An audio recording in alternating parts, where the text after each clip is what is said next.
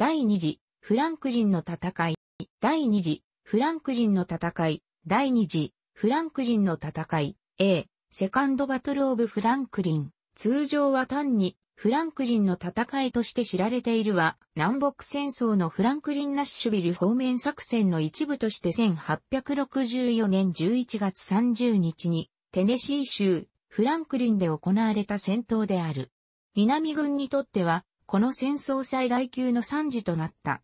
北軍のジョン・マカリスター・スコフィールド少将が指揮する、オハイオ軍は戦闘の後で戦場を離れたが、南軍は北軍の防御陣に対する正面攻撃を行って失敗した結果、6人の将官が戦死、または致命傷を負ったことを含め恐ろしいぐらいの損失を被った。西部のピケットの突撃と呼ばれることもある。この戦いに続いて12月には、ナッシュビルの戦いで、南軍は大きな損失を出し、ジョン・ベルフと将軍のテネシー軍は戦える軍隊としての島を告げた。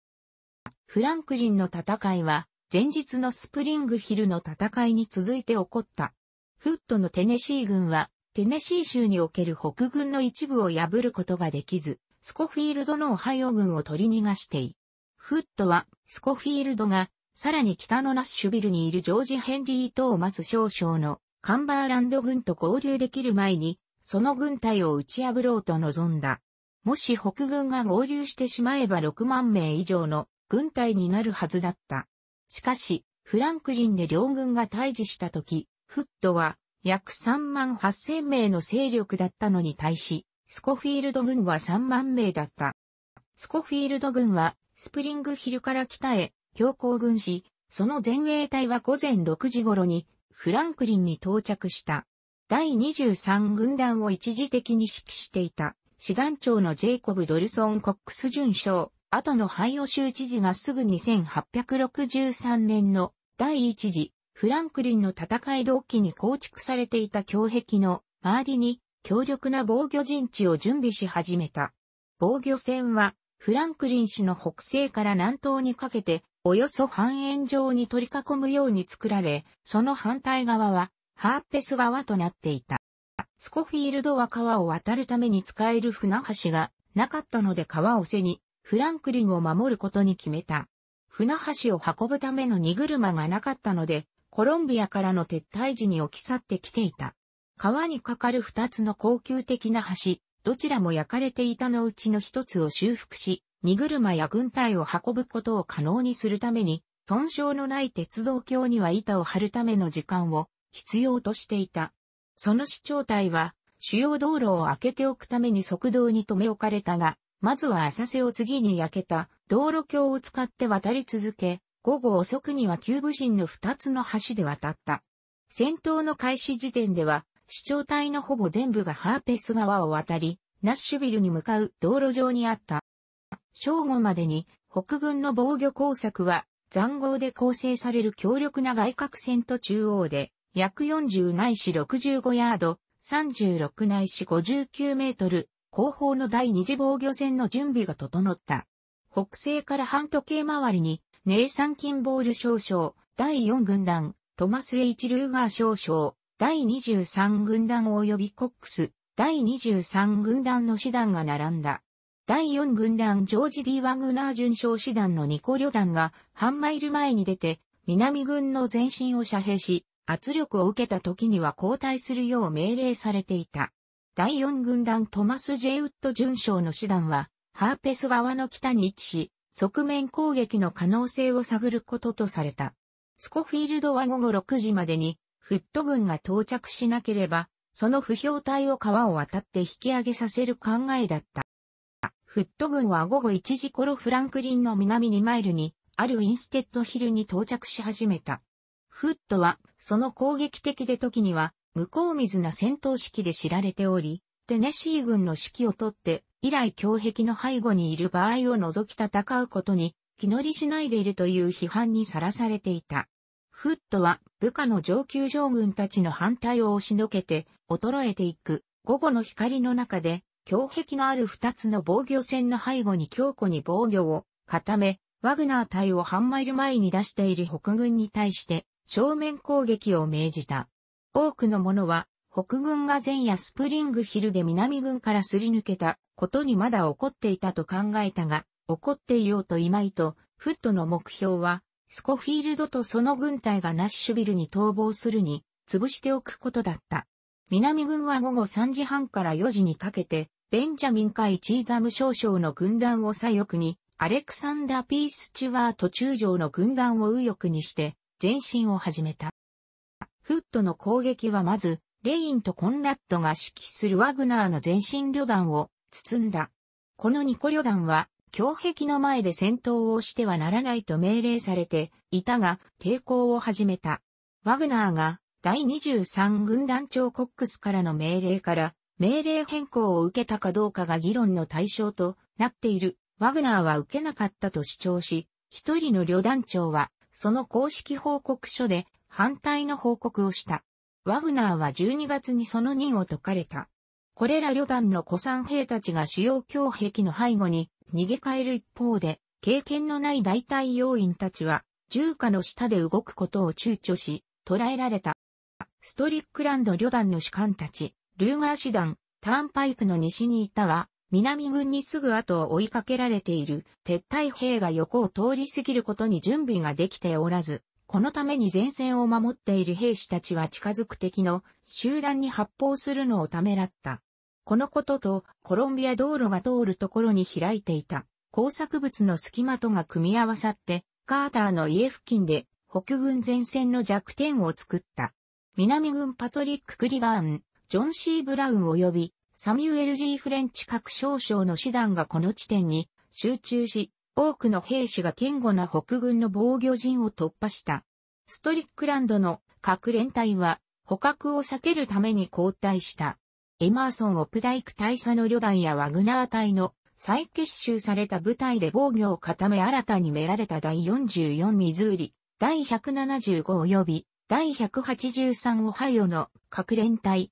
さらに古参兵のケンタッキー連隊が自然発生的に反撃を始め、短時間だが激しい白兵戦の後で、なんとかその奪われていた工作物を取り戻し隙間を埋めることができた。日没の午後5時までに、北軍の前線は再び硬い残壕戦になった。戦場の東側では、南軍ウィリアム・ビー・ローリングとエドワード・シー・ウォルトホール、各少将がその部隊をバラバラにされる目にあっていた。戦場の西側では、ウィリアム・ B・ ベート少将の攻撃がうまくいかず、側面への攻撃に進めなかった。しかし、中央では南軍が修復不可能な突破ができたと信じ、それにつけ込もうとして、北軍の第二前線に対して繰り返し、しかし協調の取れていない突撃を敢行した。暗くなった午後7時頃、エドワード・アレゲニー、ジョンソン少将の師団が攻撃してそれ以前の部隊よりも運に見放されたが、攻撃を命じられた部隊としては、唯一、リーの無傷の軍団の師団とな、南軍の多くの兵が主要前線前の溝に、釘付けになり、激しい銃撃戦が何時間も続き、両軍は至近距離にある銃眼や胸壁越しに発砲した害を交代させようとした。午後9時までに戦闘はほとんど静まった。攻撃全体は素晴らしいものであり、あるものは高波のようだと形容し、また西のピケットの突撃とも言われた。しかし現実には有名なゲティスバーグでの突撃よりも、はるかに大きなものだった。東部、ゲティスバーグでは、12,500名の南軍が1回の突撃で1マイルの開けた戦場を横切り、約50分間続いた。フランクリンでは、およそ1万9000名が2マイル近い距離を砲火の中で進み、5時間以上にわたって数派の突撃を敢行した。東の川向こうでは、南軍の騎兵隊指揮官、ネイサン・ベッドフォード・フォレスト少将が、北軍の左側面を突こうとしたが、北軍ジェームズ・ウェイチ・ウィルソン少将の騎兵隊に撃退された。戦闘の間グランジャー通りで、ハーペス川のすぐ向こう岸、フランクリンからは、北東にいたスコフィールドは午後11時頃から、不評隊に川を渡るよう命じた。ただしコックスは、撤退が必要ないと反対した、AJ スミス少将の援軍はすでにナッシュビルにいた。北軍が川を渡るために脆弱な時間帯があったが、フットは気持ちが動揺しており、それにつけ込めなかった。北軍は12月1日にナッシュビルの胸壁内に入り始めた。打撃を受けた南軍はフランクリンを支配したが、敵には再度逃げられた。通常南北戦争では敵に撤退を強いた軍が勝者とみなされるが、ここでのフットの勝利は恐ろしい損失を伴うものだった。二日間に及んだシャイローの戦いよりも5時間のフランクリンでフットのテネシー軍は多くの者が戦死した。南軍の損失は6252名となり、内戦士は1750名、負傷は3800名だった。他にも、推計2000名が軽傷を負っており、ナッシュビルの戦い前に任務に復帰した。西部の軍隊指導力は熟練したパトリック・クリバーン将軍の戦士などで大きく体化した。南軍は15人の将軍、戦死、または致命傷6名、負傷8名、捕虜1名と53人の連隊長が損失に含まれていた。戦死、または致命傷の6人の将軍は、クリバーンの他に、ジョン・アダムズ、ハイラム・ビー・グランベリー、ステーツ、ライト・ギスト及びオトカイストラールが含まれていた。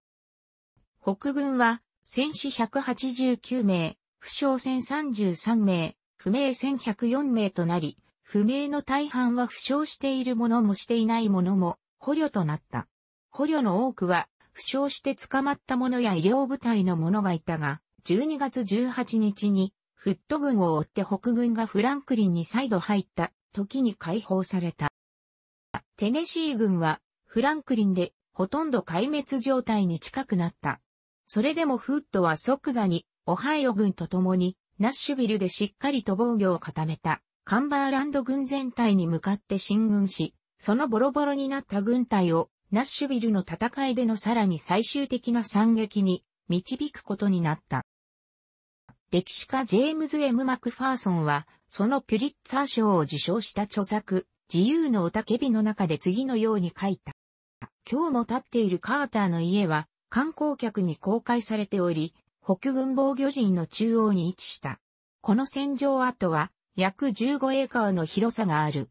この家や離れには数百の銃弾の跡が残っている。戦闘時、マクガボック家の家だったカーントンプランテーションも残っており、一般に公開されている。南軍兵はカーントンを過ぎて北軍の左翼に迫り、戦闘後その家と離れは大規模な野戦病院に変えられた。カーントンに隣接してマクガボック南軍墓地があり、戦死した南軍兵1481名が埋葬されている。カーアントンを取り巻く48エーカーに隣接して110エーカーの戦場跡があり、現在は市民公園に変えられている。フランクリン戦場跡の残り大半は商業開発のために失われた。例えば、クリバーン将軍が倒れた場所には2005年遅くまでピザハットのレストランが建てられていた。このレストランは保存団体に買収されて壊されたが、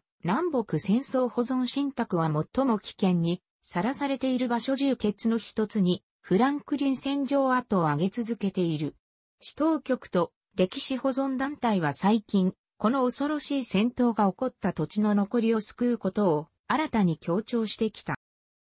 楽しくご覧になりましたら、購読と良いです。クリックしてください。